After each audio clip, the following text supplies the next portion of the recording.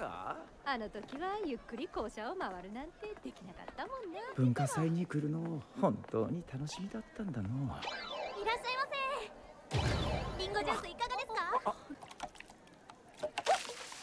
すみません。すみません。どうしよう。ありゃりゃに似合いそうとは思っていたけど。お人形さんみたい。ああのついでにこっちも着てみませんか？までまで普通の服で。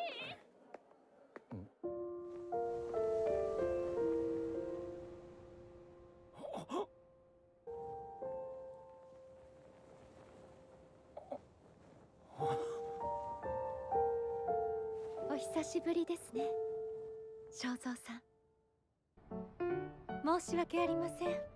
制服を着た途端昔の感覚が蘇ってしまいまして。演技か？でもこの目は間違いなく出会った頃の高嶺の花のばあ様だ。こういう感じだったのかの？不思議な感じだべ。少しからかってみるか？佐々木さんは好きな人とかいるんだか？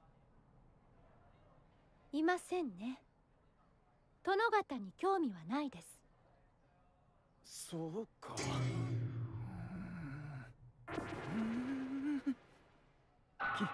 気まずい。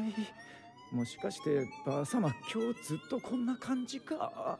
ダメだ。やっぱりこういうのは体が痒くなるべ。意地悪するでねえばあ様。どうしよう。すげえ入りづらいんだけど。お前先行けよ。やだよ。お前行けよ。あ何？2組に客が奪われてる？こっちはプロ直伝のラーメンだぞ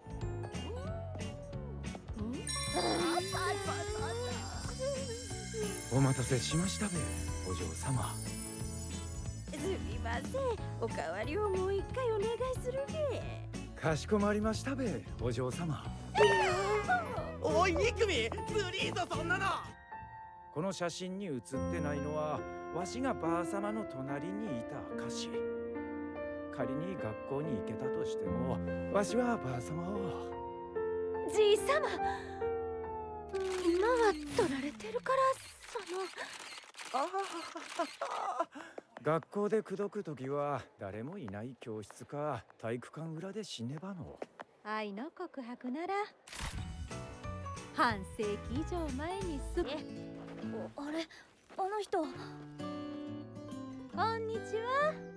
お目立ち。ちょっといいべかプレイヤーで農薬まぐ予定でな気になるんだったら迂回した方がいいで。